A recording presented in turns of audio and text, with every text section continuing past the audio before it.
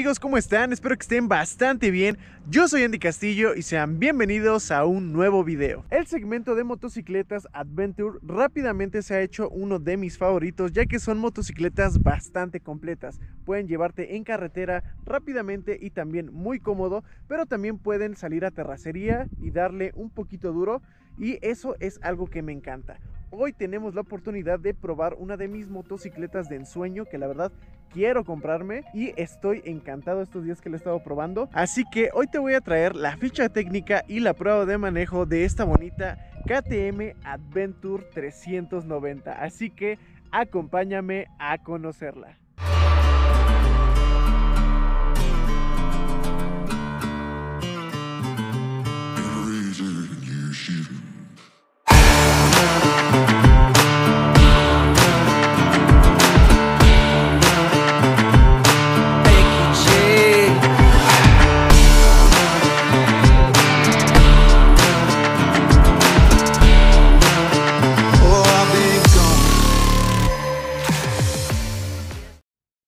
Comenzamos con la ficha técnica. Esta moto monta un motor monocilíndrico 4 tiempos DOHC de 373.2 centímetros cúbicos con 4 válvulas y enfriamiento líquido. La transmisión es de 6 velocidades y la potencia que nos entrega este motor es de 44 caballos de fuerza a 9000 revoluciones por minuto y un torque máximo de 37 Nm a 7000 revoluciones por minuto.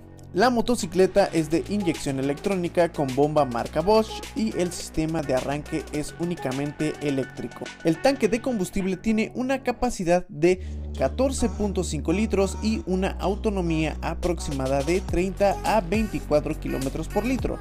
Recordemos que suele variar dependiendo nuestro estilo de manejo y condiciones en las que se encuentre la motocicleta. En el apartado de la suspensión tenemos horquilla invertida regulable de la marca WP con un diámetro de 43 milímetros y un recorrido de 170 milímetros para que los topes te hagan los mandados. Y en la parte trasera tenemos un monoshock de 177 milímetros de recorrido con ajuste en precarga. El frenado consta de un freno de disco de anclaje radial de 320 milímetros de diámetro con un caliper de 4 pistones firmados por Vibre y un sistema ABS Bosch 9. Y en la rueda trasera tenemos freno de disco de 230 milímetros con un caliper de un solo pistón, también firmado por Vibre, y sistema ABS para tener un frenado más efectivo. Pero también podemos desactivar el ABS en el modo off-road. La medida de las llantas son 190 RIN 19 en la llanta delantera y en la llanta trasera tenemos 130-80 RIN 17. La altura del asiento es de 855 milímetros, lo cual la hace una moto muy alta y su peso en seco es de 158 kilogramos. La recomiendo para primera motocicleta, la verdad es que no. Yo creo que esta moto ya es más como si fuera tu tercera o tal vez segunda moto si es que vienes de una 250. Es una motocicleta que sí necesitas algo de experiencia para poder manejarla sin ningún problema. La iluminación es completamente LED y la información la encontraremos en una pantalla TFT que nos entrega mucha información de una forma bastante completa y también tenemos el sistema de entretenimiento de KTM donde podemos cambiar entre los dos modos de manejo y conectar tu teléfono para cambiar la música desde tu mando izquierdo. El precio de esta motocicleta es de 130 mil pesos mexicanos en los modelos 2021 y 135 mil 900 pesos mexicanos en el modelo 2022 y en dólares americanos es un equivalente a 6.623.63 dólares americanos en el modelo 2022. Un precio no tan accesible pero es entendible por toda la tecnología y componentes de primera calidad que nos entrega. Los colores disponibles de esta motocicleta en el modelo 2021 son blanco con naranja y naranja con negro y también en el modelo 2022 también tenemos naranja con negro y naranja con azul. Así que pónganme en los comentarios cuál es su color favorito. A mí me gusta muchísimo en negro con naranja. Y bueno, ya conociendo toda esta información, vamos a la prueba de manejo. Hey, ¿qué tal amigos? ¿Cómo están? Hoy vamos a probar esta bonita Adventure 390 de KTM. Vamos a empezar. En primera instancia quiero decir que los componentes, los materiales están de muy muy buena calidad. La computadora de entretenimiento, que la puedes conectar a tu teléfono con una aplicación, todo todo está muy bien. El ABS desconectable está perfecto. Los materiales se sienten muy bien. Tal vez un poquito durito, como que no es para una persona que dudes. Si vas a tocar el claxon lo vas a tocar a fuerza, entonces lo tienes que ser fuerte. También las direccionales, porque luego en, en otras motos lo hago así muy despacio, pero estos botones se sienten de muy muy buena calidad, aparte de la, de la iluminación. Entonces, pues vamos a comenzar. Es muy, muy cómoda. La, hemos la he estado trayendo aproximadamente como dos días y es una motocicleta bastante cómoda. Tal vez tocará averiguar la comodidad después en un viaje más largo para ver qué tanto sufre mi trasero. Pero en estos tramitos cortos que le he traído se siente muy, muy bien. La motocicleta es alta, pero eh, la ventaja es que es ligera. Entonces, pues ya la maña es subirte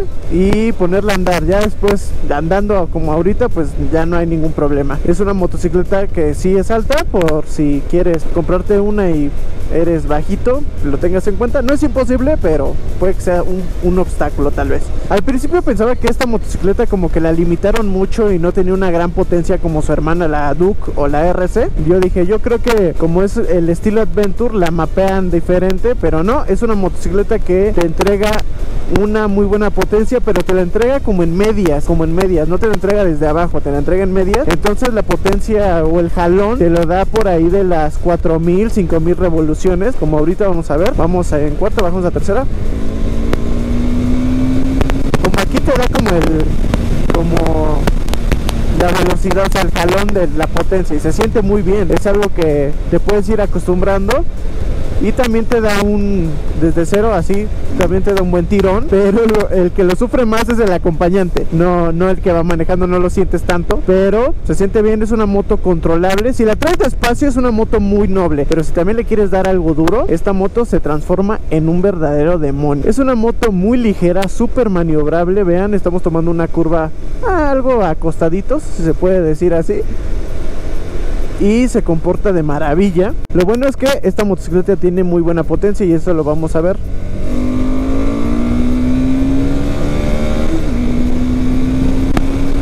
Es una moto muy cómoda, me está encantando, me, está enamorando. Vean lo fácil que se mueve esta motocicleta, está de 10. Lo único que tal vez no me agrada tanto es el consumo, porque sí, sí siento que gasta bastantito a comparación de, la Dominar. Voy, voy, de nuevo, pero es que es la moto que he usado diario muchos días. Y ahorita tal vez es un poquito engañosa la motocicleta, porque hace rato decía que ya no teníamos y teníamos una autonomía de 80 kilómetros, pero tal vez es porque no está bien acomodada la gasolina, no sé. Ahorita dice que traemos medio tanque, pero van a ver si le piso tantito. En un ratito va a decir que ya estamos en las últimas. La suspensión absorbe bien las irregularidades del camino no siente molestias al momento de cruzar, absorbe bien, aparte son unas suspensiones regulables de la marca WP, súper súper buenas y aparte pues que sean regulables está de lujo. Lo hace bien, pero yo no la recomendaría tanto para ciudad porque eso sí es algo que noté, el motor sí se llega a calentar o emanar calor mucho, que sí llega a ser un poco molesto en algunas ocasiones y más si estás en un tráfico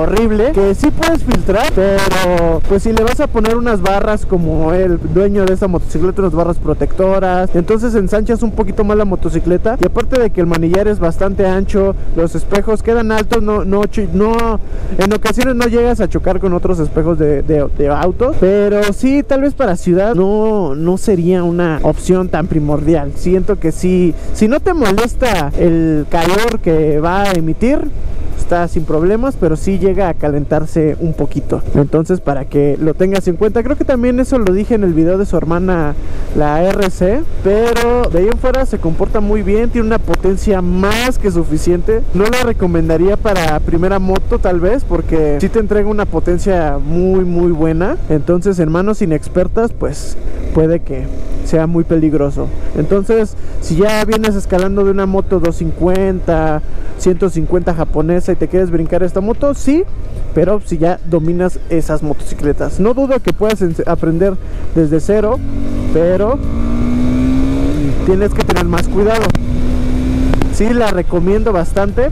Y en off-road, eh, pues esta moto está como más enfocada en la carretera, ¿no? Viajes en carretera, tal vez en ciudad si sales a terracería, sí lo hace bien, pero no siento que sea como su hábitat natural. Aparte de que trae rines de aluminio de brazos, no, no sé, dicen que una doble propósito hecha y derecha tiene que traer rines de rayos, no sé por qué, tal vez absorben mejor, pero esta sí se mete, lo hace bien, pero no, la, no le exijas tanto, porque también el tipo de llanta sí es medio, medio doble propósito, pero no, no tanto, porque sí, sí las piedritas llegan a, a moverla, a desestabilizarla un poquito, pero si le das un off-road leve, pura tierrita tal vez, nada de, empedrados muy o de piedras sueltas, creo que lo va a hacer muy bien. Bueno amigos, esta es mi impresión, mi prueba de manejo de esta KTM Adventure 390. A mí me encantó, me está fascinando, ya ni se la quiero dar al dueño. Muchas gracias a nuestro amigo Pingu Rider por prestarnos esta motocicleta. Él se llevó la mía unos días y él me prestó esta para que le hiciéramos el video. Muchas gracias, en serio, pasen a su canal. Sube buen contenido, hay días que se pone medio loco,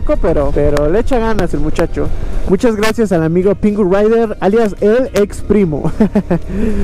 y pues sí amigos, este ha sido el video de esta bonita KTM. Comenten qué les pareció esta motocicleta, se la compraban, no se la compraban. La verdad yo, yo quedé fascinado, pero nada más en otro color, pero quedé muy muy encantado. Yo me compraría la naranja y si hay una versión negra, uff, uff, uff, me encantó. Aparte también su, hermana, la, la Adventure 250, también me gustó mucho, pero me dan a pues prefiero la hermana mayor, ¿no? La 390. Y si les gustó este video, regálenme un like, por favor. Eso me ayuda bastante. Y si me pueden dejar un comentario también, eso me ayuda muchísimo. Recuerda seguirme en mis redes sociales que te las voy a estar dejando aquí en el comentario fijado. Sígueme en Instagram como Andy de Castillo para que ahí te enteres de qué cosas estamos grabando o qué moto estamos probando mucho antes que en YouTube. También sígueme en el TikTok donde ahí subimos videos ocurrentes sobre motocicletas. Ahí me encuentras también como Andy Snake Castillo y también pásate a la página de Facebook que es Andy Castillo 7. Por mi parte, eso ha sido todo. Yo soy Andy Castillo y nos vemos hasta el próximo video. Chao.